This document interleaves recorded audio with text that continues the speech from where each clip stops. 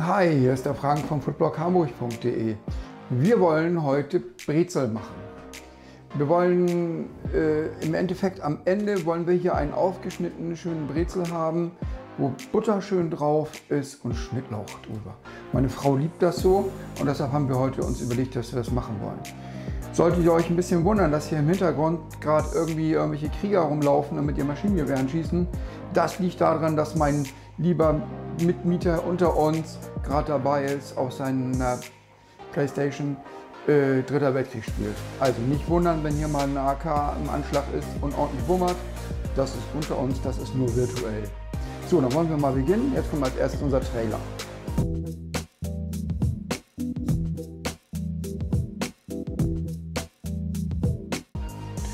So, wir haben schon mal wieder ein bisschen was vorbereitet. Wir haben 250 Gramm 550er äh, Mehl uns hier hinein abgewogen. Wir haben 140 bzw. 150 Milliliter Wasser lauwarm hier drin. Da tue ich jetzt 10 Gramm Hefe rein. Gibt auch Rezepte mit Trockenhefe. Kenne ich mich nicht so mit aus. Ich habe noch ganz viel hier, aber das ist nicht meins. Da kriege ich erst recht die Krise. Bin ja froh, dass ich hiermit irgendwie zur Rande komme. So, das lösen wir so ein bisschen auf.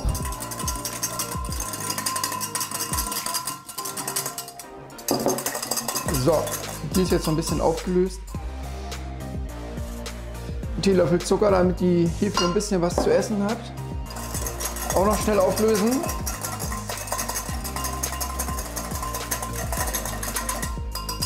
So, klasse. Dann nehme ich mir jetzt ein Tuch und mache da erstmal ein Tuch drüber. Die darf jetzt mal so ein bisschen alleine vor sich hingehen und schon mal aktiv werden. In, meine, in mein Mehl kommen 10 Gramm Butter. Dann kommt da noch rein eine Prise Salz, beziehungsweise ein Teelöffel Salz.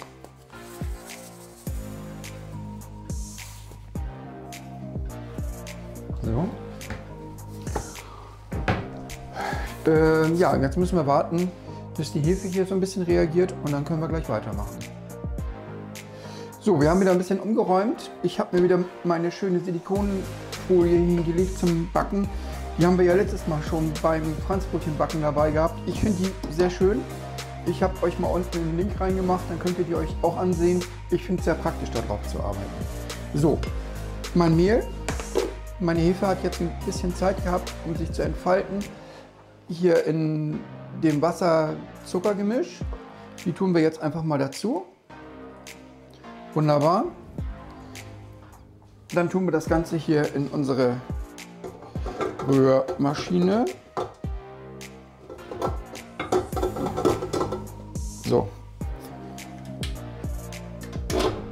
Einmal runterklappen und muss gar nicht so aufgerissen werden, sondern nur langsam durchrühren,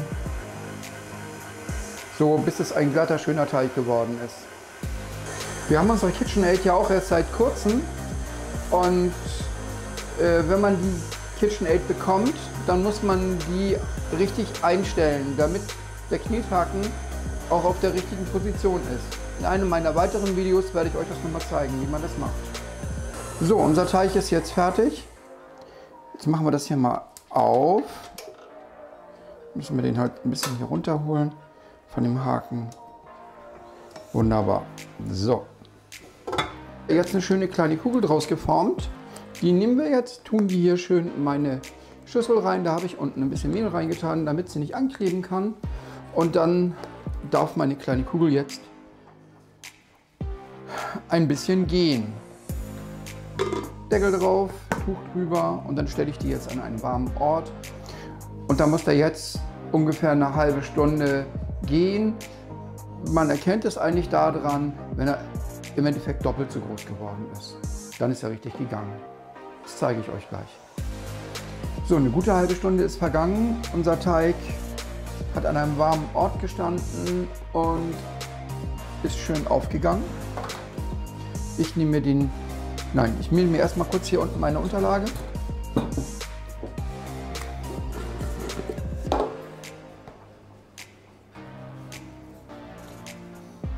So. Dann nehme ich mir jetzt meinen Teig hier raus. Wunderbar.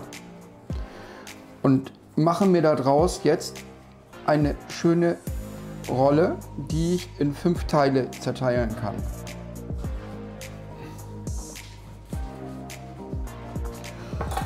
Ja,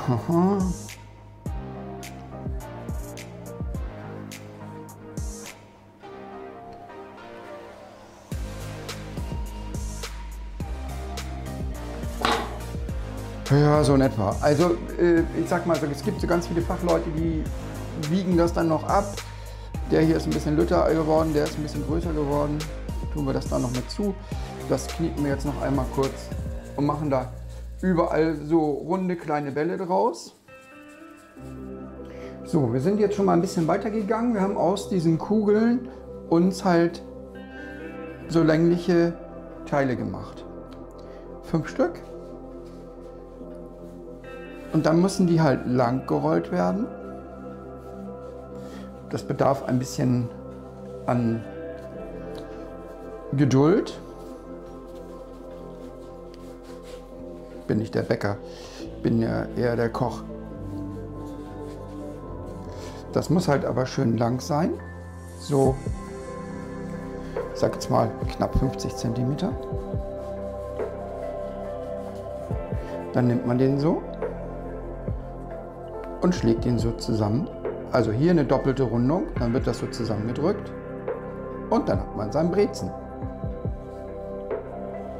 Tere, ganz einfach. Ich mache jetzt noch mal eben schnell die anderen alle fertig und dann geht es mit dem nächsten Arbeitsschritt weiter. So, jetzt haben wir unsere fünf Brezel fertig bekommen, haben die geformt und jetzt müssen die noch mal für eine halbe Stunde in Ruhe gelassen werden. Das heißt, so ihr Kleinen, jetzt müsst ihr noch ein bisschen schlafen und ein bisschen größer werden. Und dann geht es gleich eine halbe Stunde weiter. Unsere Brezel sind jetzt gerade noch so ein bisschen am Gehen, das ist aber gleich zu Ende. Deshalb können wir ja schon mal das Natron vorbereiten. Ich habe hier ein Liter Wasser, den tue ich hier in einen großen schönen Topf, sodass ich auch schön Fläche habe. Das werde ich jetzt mal eben schnell zum Kochen bringen.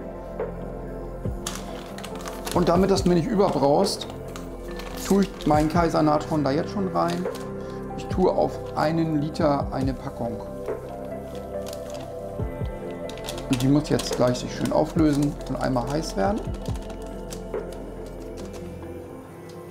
Das löst sich jetzt schön auf. Und wenn das dann gleich heiß ist, dann kann ich da meine Brezen nacheinander schön hineintun.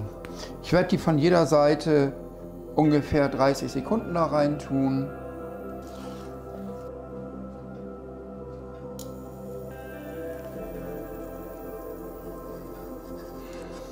Schön von beiden Seiten.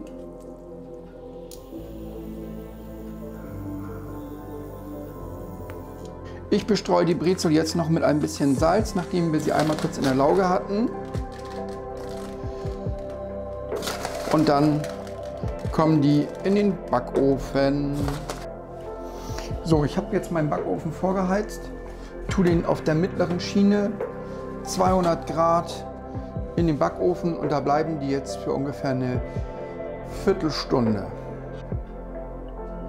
So ihr Lieben, jetzt sind unsere Brezel fertig. Schön 17 Minuten im Backofen gewesen, sehen super lecker aus. Hier liegen die restlichen vier.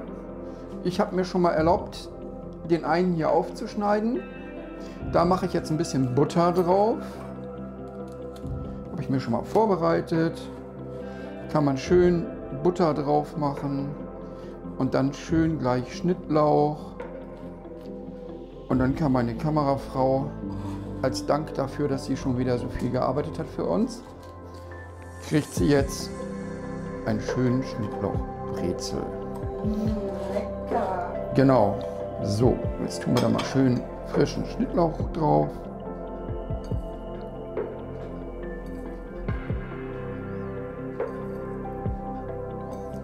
sieht richtig gut aus, ne? Ja, finde ich auch. Das ist doch richtig genial. So, den Deckel wieder oben drauf. Schatzi, der ist gleich für dich. Klasse. Genau, so. Ich hoffe, euch hat das gefallen, was wir hier gemacht haben.